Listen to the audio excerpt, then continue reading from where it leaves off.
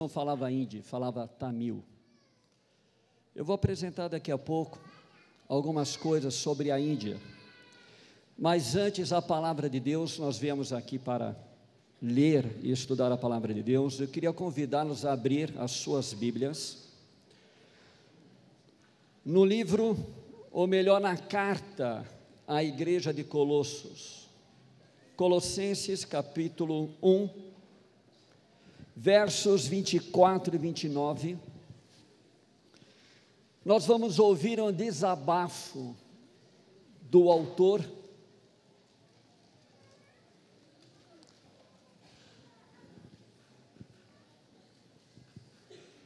O autor dessa carta, Paulo,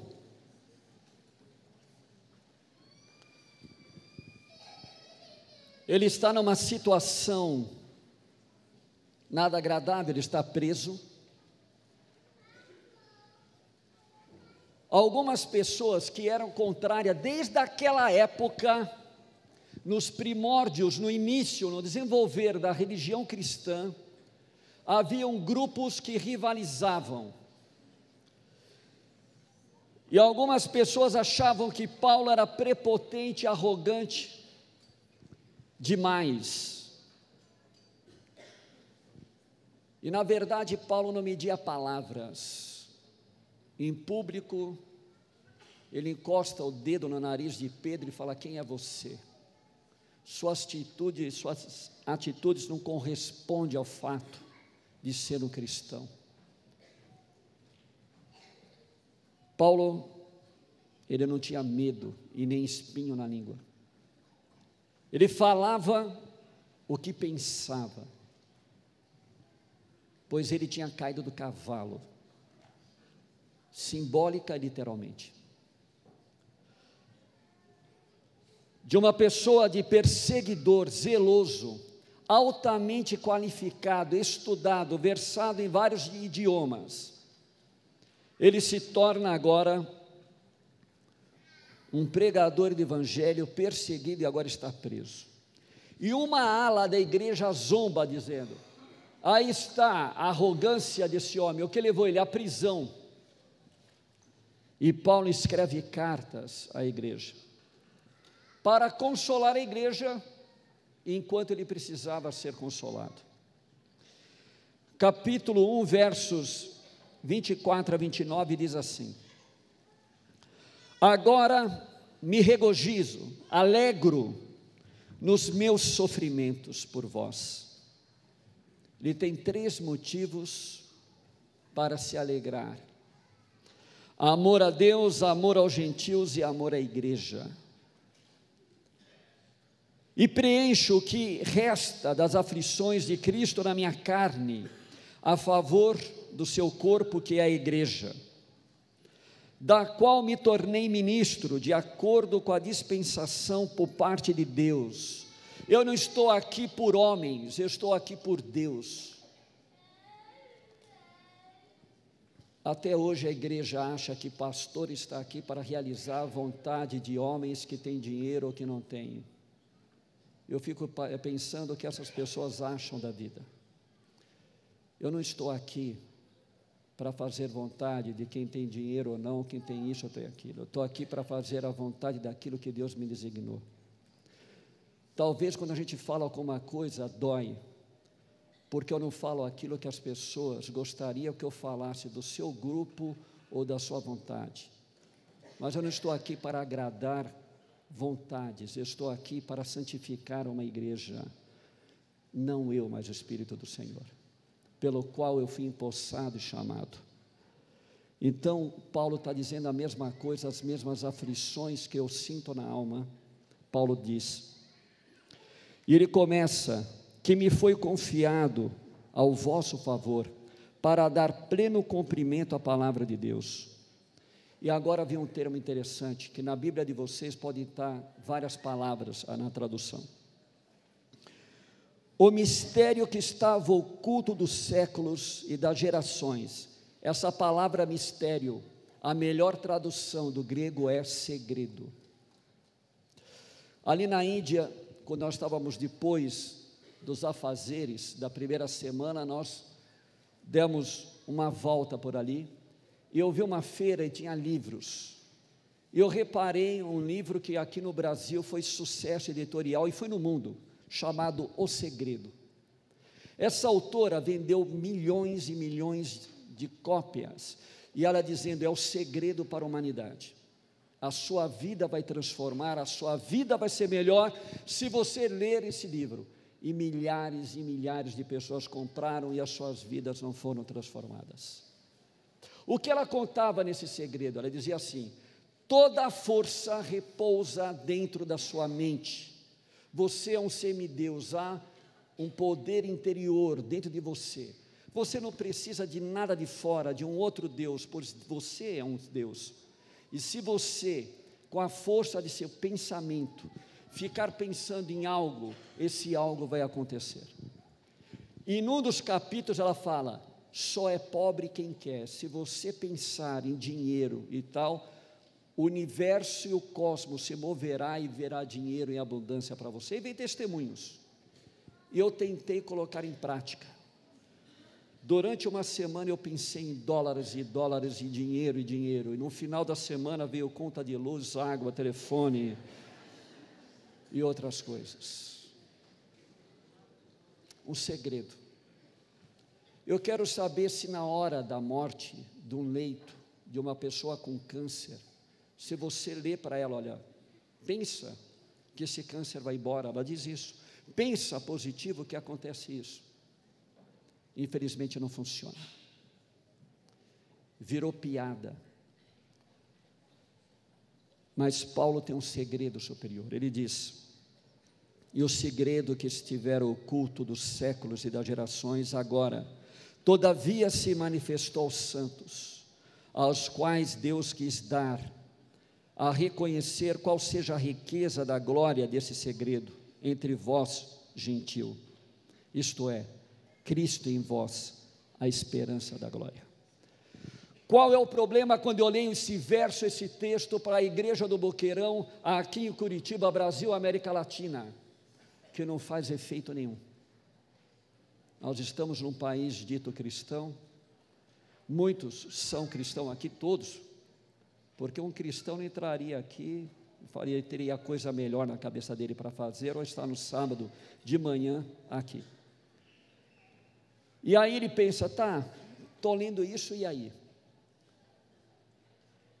O segredo que Paulo está dizendo aqui não é prosperidade financeira, porque religião hoje está virando um mercado violento para ganhar dinheiro atrás de promessas de prosperidade financeira. Eu quero dizer para você, mesmo nesses vídeos de provar e vede, eu tenho alguns que eu fico até com medo. Você, se veio aqui buscar Deus por causa de riqueza e prosperidade financeira, meu amigo, você está no lugar errado. Porque não é dinheiro que vai salvar a sua vida. O que aquele provar em verde quer dizer é que se você for fiel no pouco, no muito, Deus te colocará. Se você for fiel nas coisas de Deus, Deus é fiel com você. Agora, você, o que acontece? O cara é missionário há muitos anos. Eu quero contar um testemunho. Teve um professor, você teve o José Miranda da Rocha como teu professor. Nós chamávamos carinhosamente de Mirandinha, nosso professor. Ele gostava muito a aula dele era de missões. Ele preparava pastores para pregar e para sair fazer evangelismo e sair fazer missões. Ele e o pastor Walter, que foi padrinho do meu casamento, muito amigo. Miranda trabalhou por anos e anos na obra do Senhor. No ano que ele se aposentou, jubilou, na metade do ano descobriu um câncer e veio a falecer. O filho dele conversou comigo. Agora, meu pai serviu tanto tempo o Senhor e agora que era o momento. O que acontece? Cadê Deus? Pastor Walter serviu na Alemanha, estava querendo ir para o Líbano de qualquer jeito, levava pessoas para fora, criou o NUNCE, o Núcleo de Missões na Unasp, e o ano passado veio a falecer em março de um câncer. Seus filhos perguntaram: cadê Deus?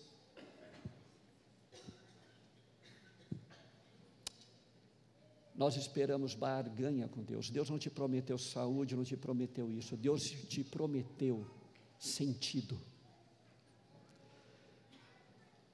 Quando você descobre que Deus te chama, não é privilégio, é agonia. Porque ter intimidade com Deus é acabar com os seus gostos, com as suas vontades, para fazer a vontade de um ser supremo que não te deve nada. O Senhor é Criador dos céus e da terra, o que, que Ele tem a ver com a minha dificuldade de trocar de carro ou de pagar meu financiamento da casa? Aí você fala, se Ele não está nem aí, para quê? Não é isso, é pelas misericórdias dEle. Eu não amo a minha filha porque ela vem à igreja. Eu não amo a minha esposa porque ela faz a minha comida e lava minhas roupas. Eu amo porque eu escolhi amar. E Deus nos ama não para dar algo em troca, Ele nos ama porque nos escolheu nos amar. E Paulo está dizendo esse segredo que nós não tínhamos esperança, que nós acreditávamos em fábulas, até que chegou, pela graça do Espírito do Senhor, a mensagem de uma verdade que, ainda que eu morra, porque eu envelheço, posso ter câncer, posso adoecer, posso acontecer isso, eu vou morrer, é uma certeza. Eu tenho a esperança da eternidade, porque assim como Jesus Cristo morreu e ressuscitou, eu tenho a certeza da ressurreição nele. Amém? Não existe castas, existe para Deus equilíbrio. Todos nós somos filho dele, não importa se é milionário ou mendigo, todos somos filhos. Agora eu quero mostrar para vocês o que, que é a Índia, numa visão de um grupo que saiu daqui.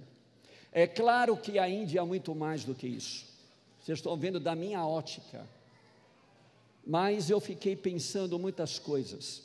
A ideia do projeto inicial era a África para os jovens fazer uma escola de missões para depois ir para a África. O pastor Daniel, quando recebeu o convite para vir para cá, ele foi em casa, nós conversamos, eu apresentei o projeto da África, ele falou assim: Eu tenho um projeto que já está pronto de um professor que eu conheço, e ali ele faz na Índia com orfanatos. E ele me pediu a liberdade de fazer esse projeto aqui. Eu falei, ok. Ele pregou, convidou a igreja toda. Ele não foi um por um. Ele mostrou o projeto e convidou. E alguns estiveram em algumas reuniões, mas havia algumas vagas limitadas.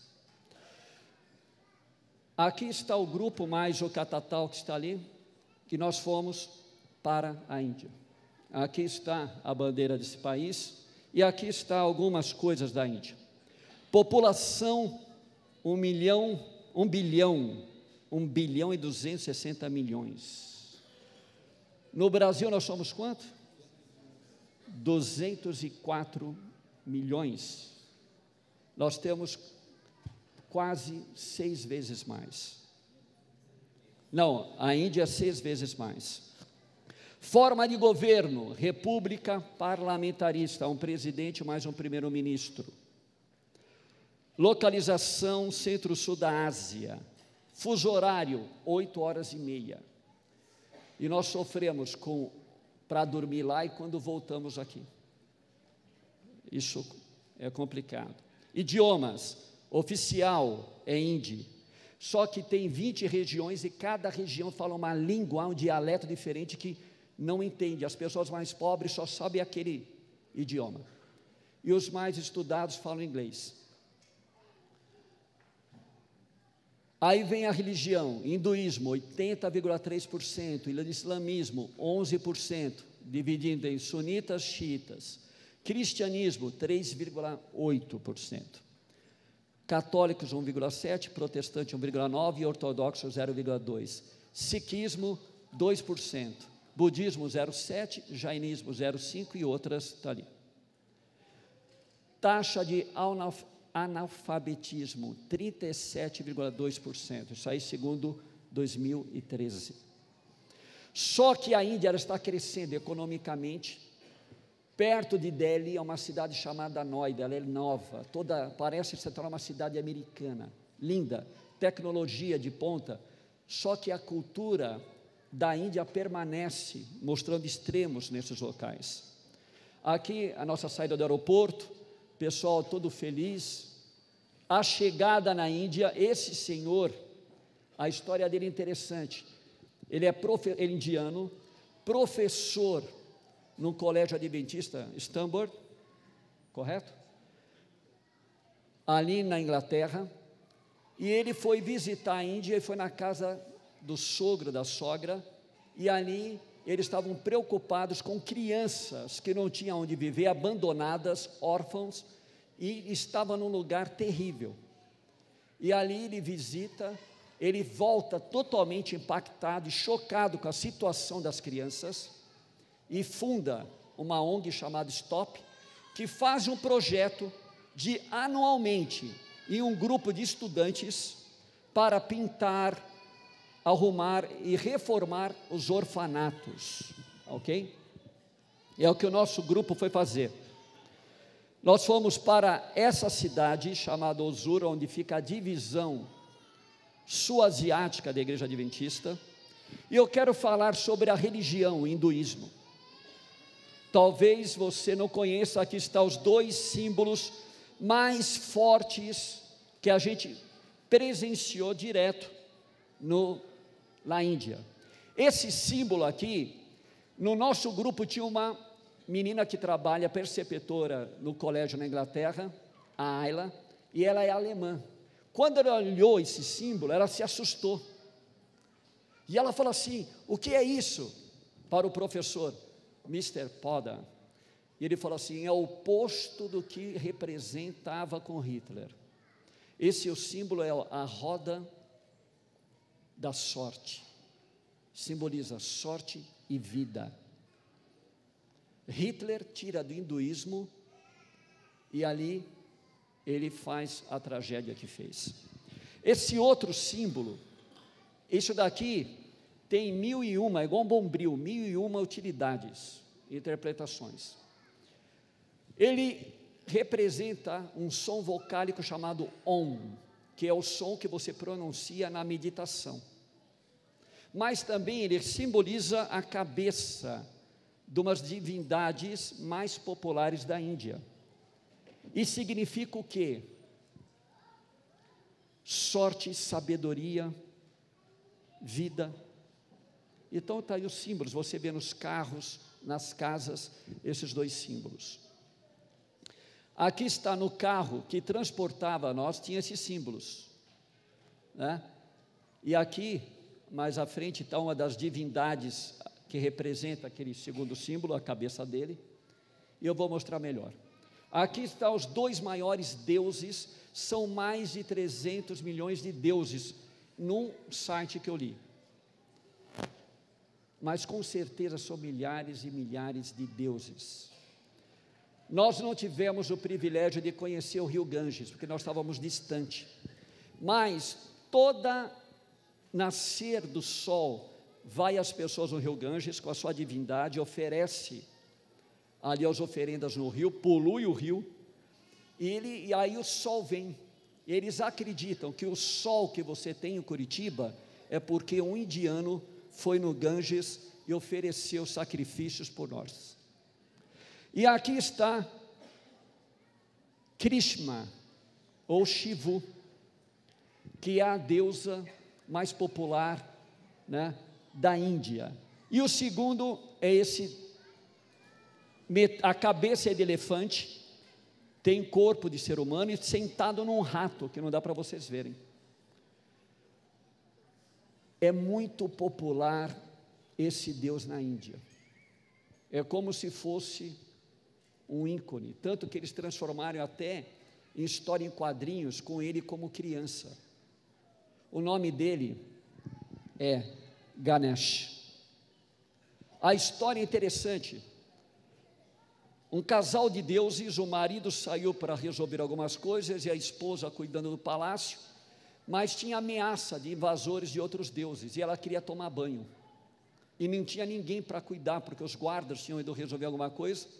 E ela cria um boneco, dá vida e se transforma num garoto. E ela fala assim: Você não vai deixar ninguém entrar aqui que eu vou tomar banho. e ela vai tomar banho. E aquele garoto fica lá e volta ao seu marido, que é um Deus também poderoso, e fala assim: Você está fazendo aqui? Não, eu estou protegendo. Ó, oh, então obrigado, eu vou entrar. Você não vai entrar, não. Não, eu vou entrar na minha casa, você não vai entrar, não. Eu vou entrar, não, não, a mulher que me fez falou para me guardar, não entra ninguém. Mas eu sou marido dela, eu sou Deus, o problema é seu. Ela mandou, e esse camarada tinha uma noção de sabedoria, porque quando a mulher manda, não adianta questionar. Né? É aqui na Índia, maridos, aprendam, ela falou, acabou. E ele botou isso na cabeça e o cara ficou bravo, pegou, cortou a cabeça dele e jogou longe. Quando ela sai do banho, procura que ela tem como filho, e cadê a cabeça dele? Ela implora, e está morto lá, porque sem cabeça não vive. E ele fala o seguinte: não vou atrás da cabeça desse infeliz, não, porque ele é muito mal educado. O que você encontrar morrendo aí, você corta a cabeça e põe que resolve. Ela encontrou um elefante. Cortou, botou e, e voltou à vida. E aí, como ele foi reconstruído, ele começa a organizar e criar também a humanidade. Milhares, milhares acreditam nessa história piamente na Índia. E aí está. Aqui está propaganda de filmes, bandas e tudo tem religião. Você respira religião na Índia. Aqui em frente à divisão tem um templo. O Catatal falava que parecia a Disneylândia, que é tudo colorido, né? Em cima, assim, os templos hindus são cheios de cores. Aqui estão os mais modestos, porque todos os lugares, não importa se a vila é rica ou pobre, há um santuário. E aqui vocês vê santuários menores, outros aqui. Nesse estava eu, a Márcia e o Armando, uma hora ali para levar as crianças, e aí chamaram a gente para receber a bênção, a gente saiu correndo, né? que eles tinham ali. Aqui um outro, vocês reparam que tem elementos que existem na religião africana e no candomblé ubanda no Brasil. E aí está. Aqui é uma rua lá de Bangalore e no final você vê isso aqui, ó. No meio do comércio é um santuário para várias divindades. É muito comum. A Índia, ela respira a religião. Existe uma proposta de uma ala radical do governo que quer transformar o país 100% hindu, ele é 80,3%. E dessa ala radical tem grupos anticristãos e antimuçulmanos que atacam, hostilizam. Então a situação pode se pregar hoje na Índia? Pode, mas você não tem apoio é tudo velado. Aqui é uma casa, aqui você tem uma máscara, não dá para ver direito, agora dá para ver. É um capeta para outro capeta não entrar. Então ele mostra a língua para o capeta fala, vai embora que aqui você não entra. Então eles acreditam muito nisso, espantar os espíritos que podem ir na sua casa. Aqui está o símbolo, são casas de pessoas, o símbolo aqui ó, da suástica. Você vê isso normalmente, como ver esse símbolo do Ganesh. Aqui, meu Deus, a minha família cultou esse Deus. Todas as casas, isso é muito normal na Índia. Eles respiram isso. A cultura geral, né? Aí você vê, ela é um aranhado de gente e é um negócio assim, bagunçado e sujo. Eles não se importam de, mesmo nos monumentos mais lindos, de sair jogar as coisas. Então você anda em pleno lixo pode ser bairro rico ou não, você vê lixo jogado, você vê sujeira, tanto que você não pode tomar água que não seja mineral comprada. E olhe lá a procedência. E comer uma fruta ou comer qualquer coisa, você pode ter uma dor de barriga, uma desinteria, algo complicado ali. Meu médico já havia advertido, nós saímos daqui com muitas precauções. Então você vê, olha, são carros bons passando, olha o lixo, e a vaca. Vaca na Índia, gente, é igual cachorro. Você vê vaca em tudo que é canto ali, né? Olha lá, um monte de vaca. Você vai vendo, essa vaca aqui é aquela vaca louca, não é doença. É que eu estava com Daniel e Catatal, de repente eu estava ali, vi uma vaca com tudo para me dar uma cabeçada. E quando eu olhei aquele bicho, eu pulei, e o Daniel ficou bravo, que ele queria tirar foto da vaca me acertando. Aí ele fala: Volta lá, pastor, volta lá para a gente falar. Eu falei: Você é louco, vai você, né? E você não pode fazer nada com a vaca. Eu dei uma bronca na vaca, todo mundo olhou feio para mim, que era um comércio, né? Aliás, eu estava falando para o pai e para a mãe da Irineide, quase eles ficaram milionários, porque o que teve de proposta para a Irineide? A única solteira, é, e ela ali, né, eles olharam deslumbrados, eu dou 300 elefantes por ela, eu falei, é pouco. Eu estava tentando falar com o Elton, o Elton falou, dá pastor, dá, eu falei, não, que é isso Elton, eu estou brincando. Irineide. Ok. Aqui está um dos meios de locomoção da capital, o triciclo. Essas pessoas que pilotam aqui, elas são totalmente hostilizadas pelos próprios indianos. Por quê? Porque elas vivem numa casta menor. A Índia, para você ser hindu, você tem as castas. O Brahmas são a casta superior, religiosa, aonde você se torna sacerdote. E outras castas. A menor, o que você pode ser, além de mendigo, é ser isso aqui. Tem um documentário na Netflix disponível chamado Happy, e mostra a vida de alguém que vê numa casta inferior. Agora imagine, pela religião deles, você não pode ajudar uma, uma pessoa dessa por causa do karma, e ela numa vida anterior, não sei o que ela fez, e ela nasceu assim, é como se fosse um inseto, um rato, e você não pode ajudar. Chega o cristianismo e fala: Você é filho do Criador. Você não tem nada de diferente de um ministro no sacerdote. Você também é filho de Deus. Deus se tornou homem e morreu por pessoas igual você. Olha o impacto. Aí você entende o que está escrito aqui. Um segredo que ele não conhece, ele não precisa viver como miserável, Olha as palavras de Paulo para uma época dessa, para uma cultura como essa que Paulo pregava, que não era diferente na Grécia. Paulo diz: Eu tenho um segredo. E qual é esse segredo? Jesus é Deus, ele deixa seu trono, se reveste de um corpo humano, morre para pagar a nossa dívida, ressuscita e agora ele intercede por você e você é a obra-prima dele. Amém? Faz diferença na sua vida essa conversa? Faz diferença na sua vida esse verso?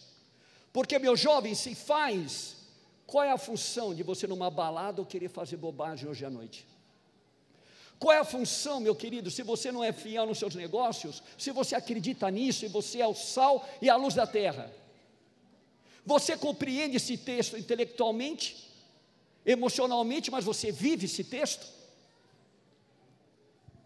É isso que Paulo quer chocar a cada um de nós. Aqui está o tuk-tuk, outro meio de transporte, a nossa alegria de andar. Isso aqui é outro meio de transporte que não deu para andar. Ah, lembra o pica-pau, aqueles encantadores de serpentes? E eles existem ali. Né? Eles dão uns tapas na orelha da cobra, ela levanta ali, depois eles ficam tocando. E aqui, as vilas, as maiores e a maior parte da Índia é isso. Miséria. O maior desafio da humanidade, nós estamos falando sobre Apocalipse aqui, praticamente todos os domingos. E o que acontece? As pessoas falam assim, pastor, Jesus está voltando, está acontecendo isso, está acontecendo aquilo, esse sinal, aí me manda o vídeo, me manda isso. Ok, está acontecendo um monte de coisa. Mas o maior sinal visível que eu posso dizer para vocês é que em 2050 a população mundial praticamente dobra.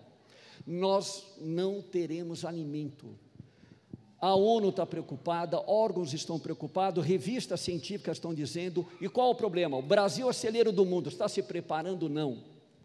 Só para você ter uma ideia, para que não aconteça uma hecatombe, algum problema drástico, tem que parar com gado. O gado ocupa espaço e leva muita água, é cara, para plantar grãos. Se a humanidade não fazer isso em 2050, nossos filhos, e muitos estaremos vivos, nós veremos uma tragédia, ser humano matando ser humano. É o maior sinal do Apocalipse. A Índia, ela tem vastos lugares para ser plantado, mas as vacas pastam e você não pode matar vaca. E eles não plantam grãos, eles plantam flores para as divindades. E como eles vão comer? A igreja adventista está presente, aqui está a união que fica em Nova Delhi. Nós estivemos na igreja que tem ali dentro. Aqui está um Cevisa, é muito pobre, por fora é bonitinho, mas por dentro tem quase nada, um Cevisa ali. Quem cuida um doutor em teologia, está aqui ele. Nessa igrejinha não tem ar condicionado em igreja nenhuma na Índia. Todos ficam descalço para entrar em alguns lugares. Aqui nós estamos na divisão, nós ficamos uma semana hospedado nos quartos que tinham na divisão. Aqui é a igreja da divisão sul-asiática. Ali nós fizemos uma programação, a Tere cantou, tanto na União como na divisão ali, né, as meninas de lá. E aí está os orfanatos. Aqui foi onde tudo começou. Aqui está o Daniel fazendo uma entrevista, e eles começaram aqui o trabalho. Nós conhecemos vários orfanatos aqui, depois reformado, brincamos com as crianças. Aqui é um outro orfanato, outro ainda. E depois, nós, ali era a independência da Índia, e eles colocaram os pastores para ser homenageado, o pessoal ali. E aqui foi esse orfanato que nós fomos desafiados a pintar, a reformar. Nós chegamos, estava assim, e aí a nossa equipe começou o trabalho. Quem lidera esse orfanato é essa jovem senhora. Ela que cuida de tudo ali, né? A Selvi. Ela cuida das crianças, administra, ela tem um respeito imenso pela comunidade local que ela é chamada para o conselho da região e eles ouvem muito a palavra dela pelo trabalho que ela faz nós chegávamos logo cedo e a nossa tarefa era levar as crianças à escola. Quantos quilômetros? Dois a três quilômetros para levá-la, e elas iam, a maioria às vezes descalça, lembra disso? E a gente levava, cada um pegava duas, você não tem ideia que era segurar essas crianças, ela apertava a sua mão, se você tentava largar delas, elas seguravam, ela não tio, não tio, elas não largavam de vocês. E aquilo me marcou, porque elas iam, e elas tentavam falar com vocês, aquelas que falavam inglês iam lá falando, você fingia que entendia, falava outra coisa também, mas era muito bonito esse relacionamento. E ali nós começamos a se apegar a essas crianças. Elas saíam, e eu deixo falar para vocês aqui, nós temos escola adventista, e nós vamos mostrar a escola adventista ali, ela começou do nada, hoje ela é muito grande um ano de escola com uniforme, roupa, né, uniforme, comida, livros, estudos, tudo sai por ano R$ 1.500. E um pouquinho mais nós mantemos o orfanato, né, Armando? Nós temos um desafio de manter esse orfanato lá. Aí você pergunta, mas eu tenho crianças na favela aqui, eu tenho crianças em orfanatos aqui, eu sei. Só que lembra que eu estou dizendo que tem radicais que querem transformar a Índia em 100% hindu. O indiano não está nem aí para essas crianças. E vocês vão ver dois outdoor que me chocou, eles não estão nem aí. Se elas nasceram, foram abandonadas, que elas morram. É o karma, eu não posso, isso é religioso. Agora imagine, nós tivemos ali perguntando o que acontece com essas crianças. Elas crescem e a maioria casam entre si e não perde o vínculo com o orfanato. Elas começam a trabalhar para elas sustentarem o orfanato. E elas saem pregando a Jesus Cristo. Imagine que esses orfanatos são como bombas para explodir na Índia, saindo missionários querendo dizer o quê? Eu tenho o segredo a esperança de Jesus em glória em mim. Amém? É importante fazer o trabalho aqui, é, mas nós temos um trabalho para fazer, para levar esse evangelho lá. porque o evangelho do reino será pregado em todo o mundo, então virá o fim. E a Índia tem que ser alcançada. Nós mostramos o nosso país, falamos ali para eles. A Irineide está dando uma aula ali de como escovar dentes, né? E ali foi dado escovas de dentes, pasta de dente a eles. Houve um desafio, enquanto eles pintavam tudo, ele perguntou: Alguém sabe desenhar? Eu não sei quem falou assim: oh, O pastor desenha. O homem falou assim: Pastor, nós precisamos de desenho para as crianças verem. Eu falei: O que eu vou fazer? E o que tinha de material? Um lápis e um pincel atômico. Eu comecei a desenhar. E ali foram desenhados em todas as paredes dos quartos, das coisas, o motivo bíblico. E as crianças chegavam, olhavam, uau! Aí a grandia pegava as menores, se sentavam todos em frente ao desenho, ele ia explicando o que significa na Bíblia aquele desenho. E aquilo trouxe muita alegria. As cartas para eles escreverem, o coração de alguns vão começar a apertar. Os afetos a pausa para o almoço. O que vocês estão vendo ali é um restaurante bom, que nós fomos comer isso aqui. A Arlete ficou paralisada. Ela falou, pastor, eu não toco nisso. Eu falei, come, mulher, eu não como. Eu tenho um problema com tempero. Eu amo alho, cebola, qualquer coisa, mas eu não como coentro. Se o coentro entra, sai. E eu descobri na Índia que tudo é com coentro. Ele só não coloca o coentro na fruta porque não entra. E outra coisa, pimenta, é, tudo é pimentado, tudo é pimentado. E ali eu tenho dificuldades. E ali, olha, gente, foi duro. Betinha, ela vai ter que confessar também, né? Eu olhei ali, o Miro e a Tere Olha, muita gente aí, o único campeão foi o Catatal. Catatal falava: Isso aqui está bom demais. Meu amigo, o estômago desse homem é uma beleza. Ele comia, comia tudo, para ele está tudo festa, né? Mas o resto, eu fiquei sem almoçar, sem jantar muitas vezes. O que me salvou, olha só, e a comida era feita no chão, né? Até que nós falamos assim: um dia nós queremos cozinhar. Aí nós pegamos arroz e feijão e fizemos.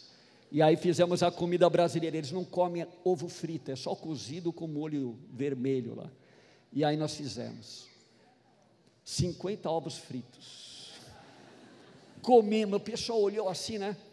Só que eles falaram assim: ó, você tem que passar álcool gel em tudo, porque você não pode se contaminar. Se você contaminar, você vai se dar mal. E tinha gente que tomava banho de álcool gel, era só a mão, né? Só que na hora das mulheres iam servir, eles pegam com a mão e colocavam.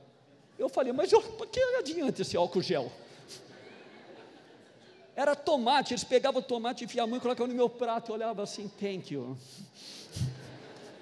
Pepino, né? E olha as crianças comendo com a mão, eles comem com a mão. E os adultos também. Esse era o nosso café da manhã. E isso aqui que vocês estão vendo, gente, fora Jesus, algo que salva a humanidade é a banana. Se não fosse a banana e a aveia, eu estaria em maus bocados nessa Índia. Mas graças a Deus que Ele reservou banana à vontade ali e a gente sobreviveu. Né? Aí está. Essa aqui é a escola onde as crianças estudam, é uma escola católica, porque fica próxima eles tiram todos os calçados. Se você dá calçado novo para eles, eles até jogam fora. Eles gostam de andar de pé, descalço, olha assim. Aí, o olhar dessas crianças, a Irineide mais uma vez ali dando a aulinha dela. E o pessoal trabalhando, nós temos ali o mestre, né, que só ficava mandando ali. Mais uma vez ele está ali dizendo: olha, não está bom para lá, cimento para cá. No único dia que a gente foi comer naquele Cevisa, eles não tinham nem coentro nem pimenta, foi a melhor comida que nós comemos. E o Miro quebrou o dente. Coitado. Então ele falou: agora eu posso mandar. Nós não tínhamos obrigação de reformar o parquinho, mas a gente olhou que estava tudo ali meio, né? E aí o Armando falou: vamos, vamos. E andamos milha a mais ali. O Catatal, que esse menino trabalha, fantástico, pintou ali, não reclamava e fazia. O Esdras ali, ele fez essa pose para foto. trabalhou, trabalhou trabalhou. Ali está. Esse aqui é o loiro, não sei onde ele viu que ele é loiro, né? Mas o Josué e o novo filho dele, o Nagrade. Esse nome Nagrade significa Deus cobra. Ele falou que a família dele estava com uma necessidade tão grande de comida que eles se converteram para uma religião cristã só para ganhar uma cesta básica, mas eles mantiveram o hinduísmo, porque não foi feito um trabalho. Nós conversamos demais com esse rapaz. Voltando para o Brasil, quantas vezes já te ligou, Josué? Quatro vezes já ligou para o Josué, e o Josué tem contato com ele, junto com outro rapaz, no último dia, um hindu, que estava na igreja com a gente, e ali passando a lição da escola sabatina, nosso grupo em língua portuguesa, o Daniel começou a traduzir para o inglês. Esse rapaz estava indo para o trabalho no sábado, mas ele foi ali, por causa nossa, que ele conheceu na sexta-feira. Qual o nome dele? Pancas. E esse rapaz chegou num momento que emocionou todo mundo. Ele olhou para nós e falou assim: Esse Jesus que vocês estão dizendo, esse eu quero. Amém? Josué está em contato com ele, pastor Daniel também, nós estamos, vamos começar, ele está estudando já, nós colocamos alguém para estudar com ele lá na Índia, mas nós estamos mandando estudo. Ele estava com todas as coisas do hinduísmo, mas esse Jesus é o segredo que Paulo fala, um segredo, que não é carro novo, não é casa nova, não é saúde, é o segredo da libertação e da salvação do ser humano a estar trabalhando no campinho, montamos um campinho que não tinha. Olha só, as crianças eram, elas brincavam, iam com a gente. Aqui depois da, da escola. Aqui na verdade foi num sábado, né? E eles fizeram uma apresentação especial para nós. Aí o nosso grupo aí. E depois ficou assim tudo bonito. Olha o orfanato como era e como ficou todo pintadinho e bonito. Só que nós sofremos na hora de ir embora. Na van, eu lembro a Irineide falando assim: vá, liga o carro, vá, para que esse sofrimento? Porque as crianças choravam fora da van e a gente chorando dentro. A Lete tentou levar uma criança embora. Eu falei: você para com isso, não vai, não tem como. É, cada um queria levar uma criança, trazer, mas não tem. Né? Tudo na Índia é tudo colorido, né? Ele parece um man baby as coisas lá. Aí uma vila bem tradicional que a gente passava para levar as crianças. E as crianças normais, que ainda têm família, são assim muito pobres. Essas pinturas é dos seus deuses que elas levam na testa. As flores. Aqui é a escola adventista. Era uma coisa tão pequenininha. E um irmãozinho ali quase doente e levantou, e aí está a escola adventista ali sendo luz naquela região. Até ônibus tem. E aqui duas coisas que eu queria mostrar para vocês. Ali está escrito: Eu sou uma pequena criança, uma menininha, não roube a minha inocência. A outra está dizendo assim: Quando você mata uma menina, você mata muitas outras. Salve as meninas. Imagina uma cidade imensa, uma das maiores cidades da Índia, com esse outdoor dizendo: não pise na grama, não mate passarinho. Estão dizendo: não mate menininha. Não está dizendo que vai dar cadeia, não está dizendo que é errado, não está dizendo, está dizendo assim: ó, não mate. Por quê? Pela pressão do Ocidente. Estupros coletivos em trens, meninas. A gente ouviu tragédias de meninas dentro do orfanato dizendo: Eu sou eu estou prometida para um senhor de 50 anos, a menina com 13, 14. Coisas que acontecem e que o cristianismo liberta. Isso aqui saiu na mídia. Eu vou mostrar para vocês Bocorã na mídia. Doze membros da igreja adventista do Bocorã, Bocorã, né? Boqueirão, saiu assim, ó. Foram levados pelo pastor Fábio, pastor Daniel, pastor Jovem, né? Eles, né? Chegaram na Índia cantando, pulando, se deleitando, que era o sonho deles, o estilo brasileiro. Olha o estilo brasileiro chegando lá, né? E causando. Se você quer ver mais, eu vou mostrar aqui para vocês. Essa foto saiu no jornal da, do Reino Unido. Está aqui, ó. Está aqui o jornal. Olha aqui, mostrando todo o trabalho que o Brasil foi fazer lá. Ok? Queridos, esse é o segredo. Jesus está voltando é a única solução para o meu e para o seu problema. Esse projeto, Boqueirão Sem Fronteiras, ele tem três esferas. A primeira é uma escola de missões, algo local. Eu tenho aqui mais de dois mil estudos bíblicos, ouvindo a voz de Deus. Eu sei que muitos não têm dom para dar estudo bíblico. Eu queria chamar o Lindon aqui e queria chamar o Igor. São dois anciões da igreja. E eles querem dar um testemunho para vocês.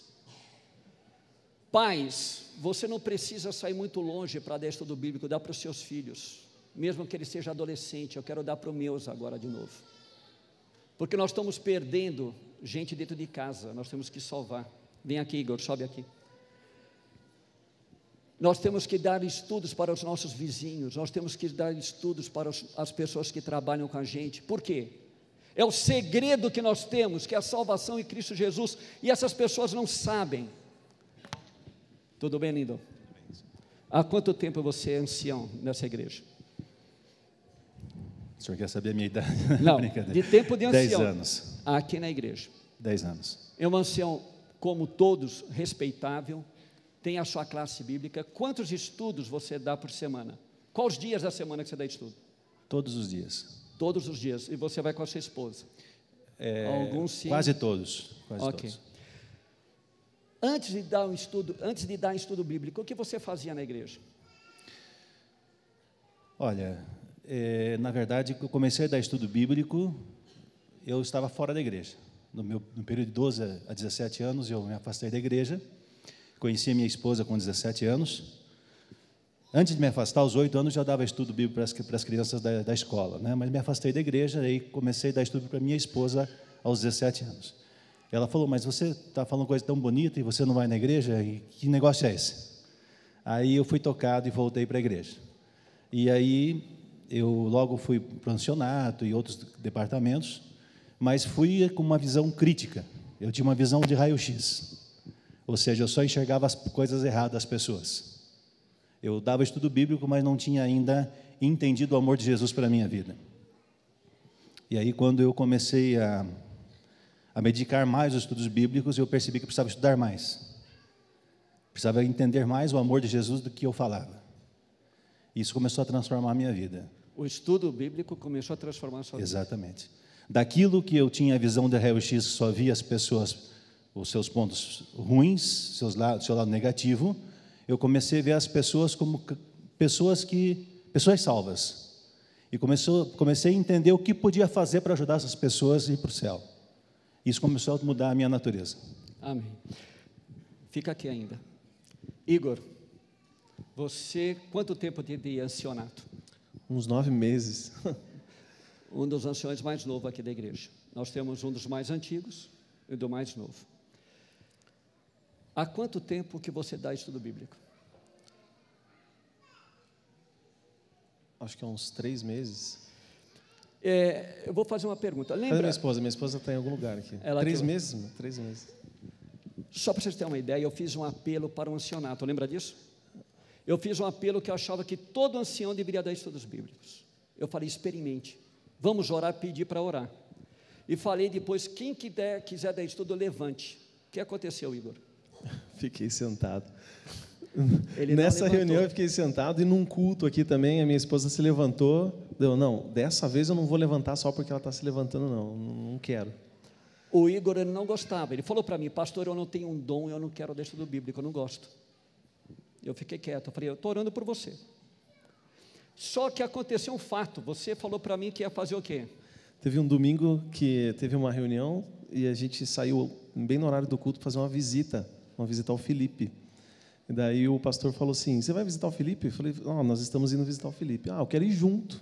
E eu, fomos. Eu matei o culto para ir na visita. É, verdade. Eu falei assim: Eu preciso visitar o Felipe porque eu quero fazer um apelo para ele. E chegou lá, eu fiz um apelo. Cheguei, Felipe, independente do que Deus vai fazer na sua vida, você tem que tomar uma decisão. Não é porque você tem uma cura ou tem isso, porque Deus é a única solução para a sua vida. Você aceita Cristo Jesus? O que ele falou, Igor? Ele falou que aceita e ele contou uma experiência que ele teve um sonho com Jesus, foi bem emocionante nessa noite. Aí ele pediu algo, eu falei que você tem que estudar a Bíblia. O que ele falou? ele falou assim: Eu quero estudar a Bíblia, eu quero estudar com vocês. Apontou para mim e para a Lindsay. Olha só, estava eu, ele e a Lindsay. Qualquer pessoa ia pedir para quem estudar a Bíblia com ele? Ia pedir para o pastor. Na hora ele falou: Eu vou estudar a Bíblia e eu quero que estude a Bíblia. Eu falei assim: Ele vai pedir para mim. Ele falou assim: É você. Aí eu fiquei tão feliz que eu cheguei para o Igor e falei assim: Lembra o apelo que eu fiz? Ele falou assim: E eu não levantei. Aí eu falei assim: Igor, se Deus está colocando esse rapaz, comece a estudar. O que aconteceu, Igor? A gente começou a dar um estudo bíblico para ele. Acho que o primeiro estudo foi no hospital mesmo, né, amor? No Hospital das Nações. E Engraçado que a gente foi lá, né, pastor? Eu vou falar, eu vou responder sua pergunta, mas a gente foi lá para orar pelo Felipe, para tentar fazer alguma transformação na vida dele, e ele acabou transformando a minha vida e a vida da Lindsay também. A Lindsay já deu estudo antes e eu não. E depois disso surgiram outras oportunidades de dar estudo bíblico. E hoje a gente dá quatro estudos bíblicos e a gente substitui em outros quando alguém não vai, não pode, a gente vai e a gente viciou nesse negócio. Viciou. Esse rapaz tem brigado com jovens, vocês precisam dar estudos. Queridos, isso aqui não precisa de aula, mas nós vamos fazer uma escola aqui, e o Lindon, o Augusto, se comprometeu a ensinar as pessoas a dar estudos, aquele que não sabe, e até acompanhar se for possível, nós estamos à disposição. Depois disso, fica aqui vocês dois ainda, nós vamos ter o evangelismo a missão regional, uma semana total. Isso aqui é uma igreja adventista aqui próximo, na nossa região, da nossa associação, Taquarinha. Está caindo aos pedaços. Eu quero lançar um desafio. Imagine nas suas férias, uma semana, a gente construir uma igreja nova e fazer uma semana de oração. Você iria?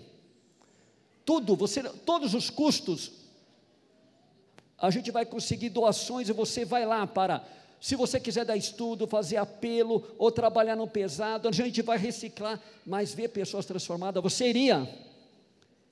Nós estamos querendo fazer isso com a igreja. Levar o boqueirão para fora, plantar igreja. E depois a esfera internacional. Nós conhecemos esse lugar aí. E você sabe que esse aí foi um dos lugares mais lindos que eu vi na vida. Minha retina, que está descolada, voltou assim a doer de tanto lindo que é. Só que tem um porém é um túmulo. Por o mais lindo, eu achei fantástico, porque um dos lugares mais lindos da terra é um túmulo. Porque quando não tem Deus, a certeza é a morte. Nós vamos ter um batismo daqui a pouco, porque a função dessa igreja é transformar seres humanos, levar pessoas a serem batizadas. Mas eu quero que esses dois homens, pastor Daniel, venham aqui comigo. Eu quero pedir essa plataforma aqui. Nós vamos orar. Eu vou distribuir esses mil, dois mil estudos entre vocês. Se você não quer pegar, se você quer ir embora, se você quiser, meu amigo, faça o que você quiser. Eu vou orar, porque Deus vai levar uma pessoa para você estudar a Bíblia, como aconteceu com Igor. E se você estudar a Bíblia com ele, você vai ver que a pessoa mais beneficiada vai ser você. Você vai crescer espiritualmente, vai compreender o plano de Deus para a sua família, para a sua vida e para os outros. Então, eu gostaria que vocês, nesse momento, fechassem os seus olhos e nós vamos ali. Fala, Igor. Pastor, sabe, eu quero falar o seguinte: todos os estudos que a gente está fazendo, alguém que é da igreja está estudando junto, porque nós apelamos da seguinte forma: não deixe de oferecer o estudo bíblico para alguém porque você não se acha capaz de estudar. Venha nos procurar, porque a gente tem uma galera, Irineide muitos outros no Boca Clese, na igreja, que estão dispostos a estudar. Então, eu, eu ofereci um estudo bíblico, a pessoa aceitou, não sei dar, Lindon, pode ir comigo, Igor, preciso de alguém, Irineide, vai, alguém vai, mas não deixe de oferecer porque você não se acha capaz de dar o estudo bíblico. Mas você vai ver, o vício pega, não pega? Nós vamos ali naqueles livros. Eu quero chamar vocês aqui, vem aqui comigo. Esse grupo que foi tão longe. Muita gente pode ter criticado porque foram tão longe, você tem algo tão perto para fazer. É isso que nós queremos fazer. Essa experiência de ir tão longe, nós temos uma responsabilidade para aqueles orfanatos, para as crianças aqui, mas nós temos uma responsabilidade e esse grupo não está abrindo mão dessa responsabilidade. Mas nós queremos envolver a igreja toda nesse trabalho. Queridos, há quatro anos atrás eu perdi uma cunhada, minha esposa perdeu a sua irmã. Recente, um pastor que eu trouxe para a igreja, eu dei estudo bíblico, ele é pastor aqui, ele me abraçou e perdeu o pai dele. Meus dois, meu pai e minha mãe, já têm idade. Eles não pertencem a essa igreja. Eu tenho orado, eu quero que a mensagem chegue a eles. Semana passada a gente viu uma família com um sonho de ir para o Canadá para ser livre da guerra. E o bote virou e uma criança de 5, de 3 anos morta. Você espera o que com seus sonhos nessa terra? Jesus está chamando a você para a maior esperança, Paulo está dizendo é o maior segredo. E se essa igreja achar que isso não faz sentido, essa é balela, e começar a levantar e ir embora, para que nós temos uma igreja aqui? Eu estou cansado de chegar e falar assim, queridos, não sou eu a obrigação de dar estudo, é todos nós, nós somos todos sacerdotes. Nós temos que espiritualizar, parar de criticar, parar de ver casa, isso, aquilo, coisas locais e ver que o que importa são pessoas morrendo. E Jesus vai falar: o que você fez se você esteve do lado dela? Você falou isso, mas Senhor, eu estive na igreja, Senhor, eu cantei, Senhor, afasta de mim, maldito, porque você não foi capaz de falar para o seu vizinho, para alguém da escola, do amor que salva e transforma. Esse era o segredo. E você está aqui para quê? Queridos, amanhã eu vou embora ou depois, mas eu tenho uma responsabilidade para essa igreja. Que essa igreja cumpra o seu papel, se santifique, pare de brincar. Eu conversei com esse grupo, fui duro, falei: a Índia foi muito bom, mas nós temos uma responsabilidade local e regional. Mas vamos abraçar o mundo a si mesmo, vamos continuar fazendo e vamos envolver essa igreja. Deus está te chamando. Faça o seu trabalho, porque a recompensa vale a pena. Feche seus olhos. Eu quero pedir para o Lindon fazer essa oração de consagração a esses estudos. Vamos ajoelhar nós aqui.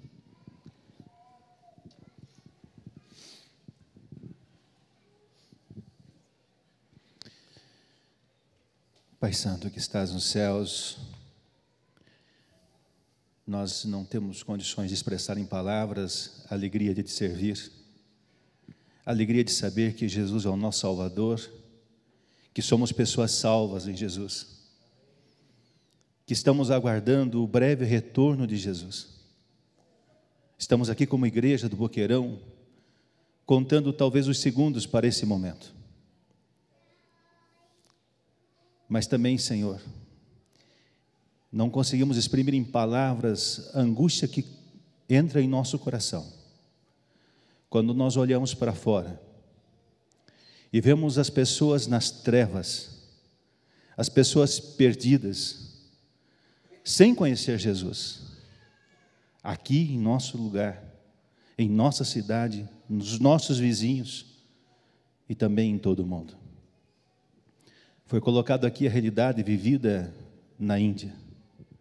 Realidade que deixa o nosso coração apertado e com o sonho de fazer alguma coisa, de poder disseminar a libertação, o evangelho de libertação a todas as pessoas naquele local.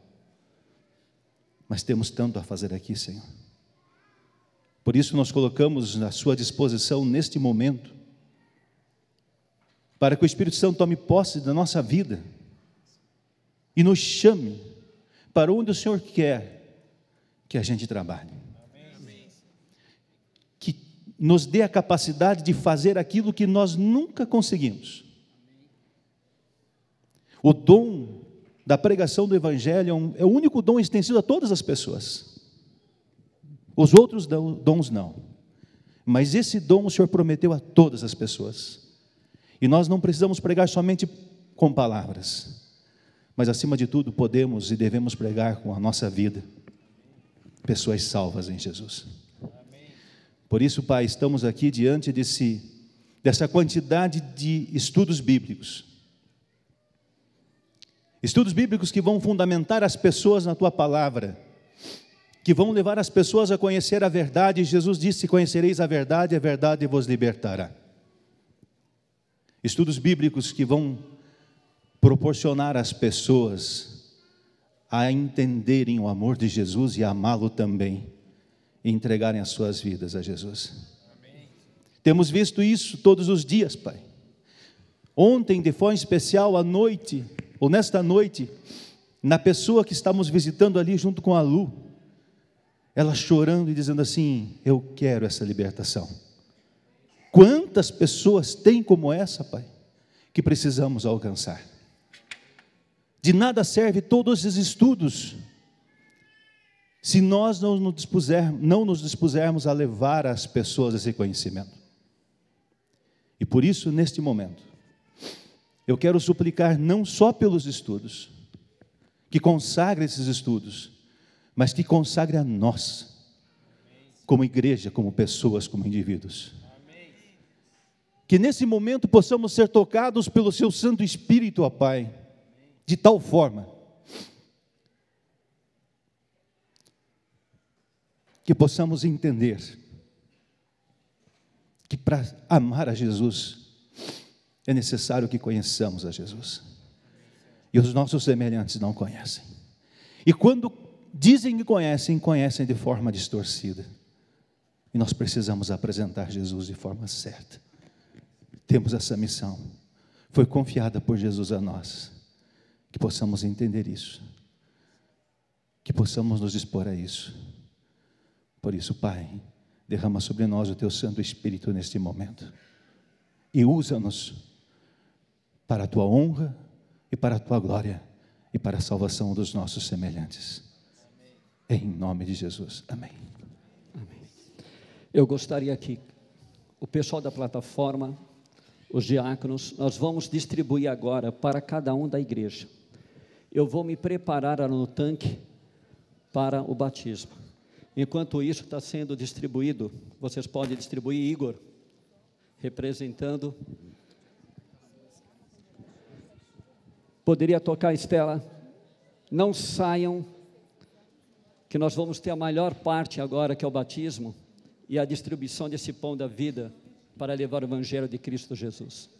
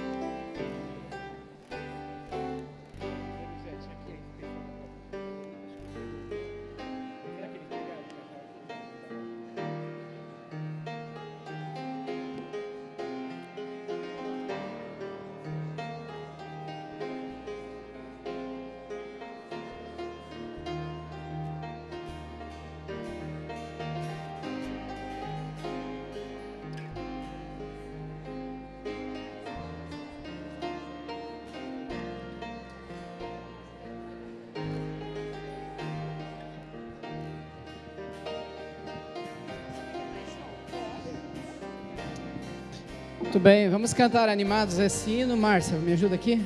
Vamos cantar, pedir para a Estela iniciar o hino e cantarmos então esse mesmo que está sendo tocado lá. Vamos cantar bem animados e alegres, então, nesse momento.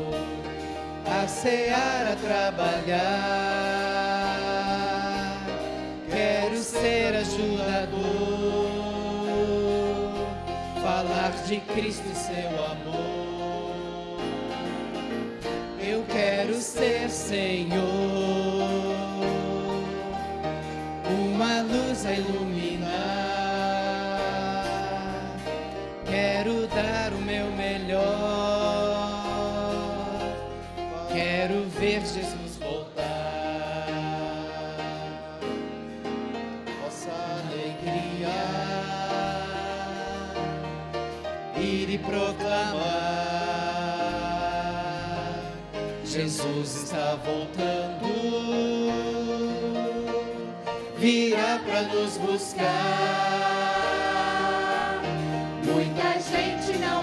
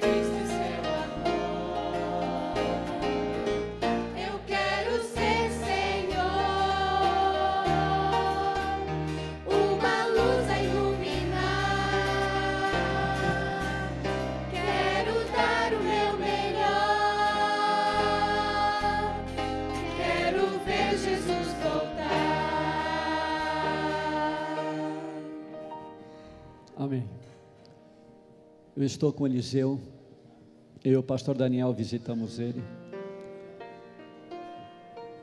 Ele passou um tempo afastado desses caminhos do Senhor e agora está retornando.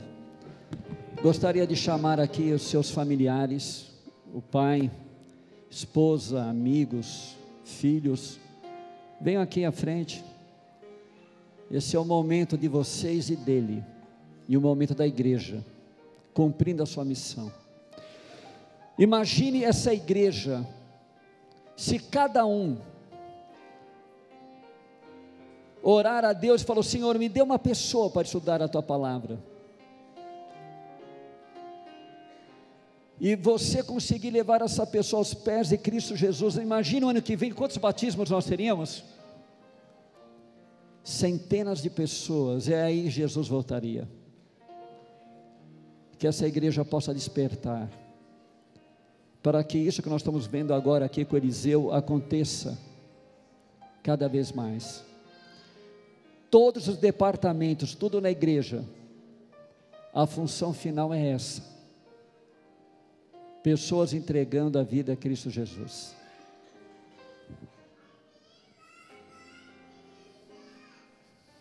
Você é o filho Tá bom, Kamani? Tudo bom, minha querida? Esse jovem é seu pai? O senhor orou bastante para esse rapaz, né? Valeu a pena. Queridos, que bom. Agora a casa vai poder dizer, eu minha casa, né? Servimos ao Senhor. Você viu que não tem caminho por fora. A gente pode andar, pode fazer um monte de coisa, mas a palavra do Senhor, ela penetra, o Espírito nos incomoda e a gente percebe que a alegria e sentido de vida é só ao lado dele. Eliseu, é uma honra estar aqui com você, porque é nesse útero da igreja que eu vejo que a minha função é importante. Eu já pensei em parar de ser pastor, porque eu falo: será que eu estou conseguindo fazer algo? Senhor, o que o Senhor quer de mim? Mas quando vejo pessoas entregando a vida, eu falo: obrigado por essa oportunidade de estar aqui. Que Deus te abençoe. Você viu que os olhos de Jesus estavam fixos em você. E você está voltando para Ele.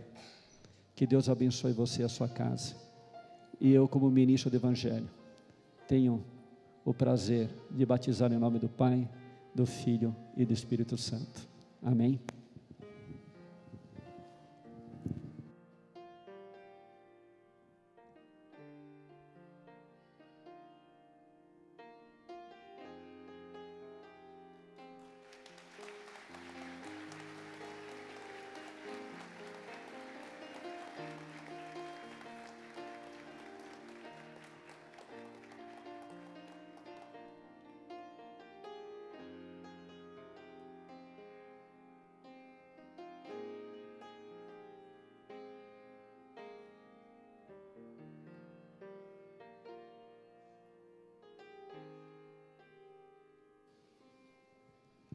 Pastor Daniel, vem cá. Agora é contigo. Os estudos foram dados. Ele já desceu as águas. Agora, ore com a igreja e apele essa igreja. As nossas decisões elas são tão importantes que um dia depois que nós fizemos a visita, a filha dele, ela não sabia que eu ia falar isso. Ela falou: Pastor Daniel, a próxima sou eu.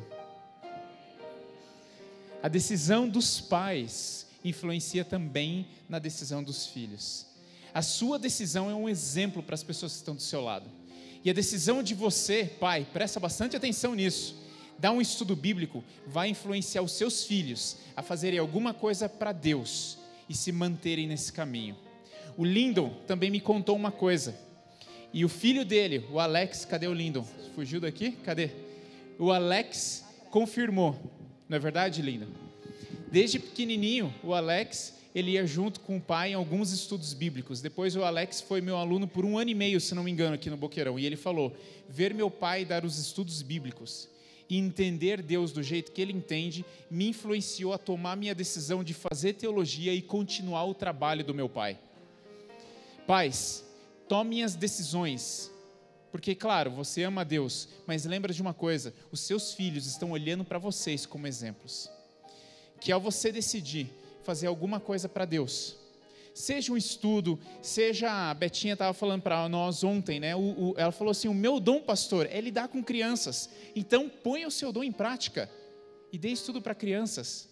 Se o seu dom é adultos, se o seu dom é adolescentes, faça alguma coisa para Deus, porque Jesus está voltando. E se você não falar, as pedras vão falar. O Igor adora essa frase. Que nenhuma pedra fale no seu lugar, como diz a música do coral. Que nenhuma pedra pregue no seu lugar. Vamos nos colocar em pé?